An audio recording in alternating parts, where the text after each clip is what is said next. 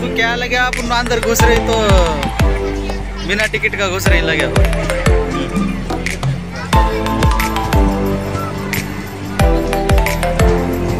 वो वीडियो देख के बोल रहे थे क्या तुम ऐसा? नजीक ना को बोल।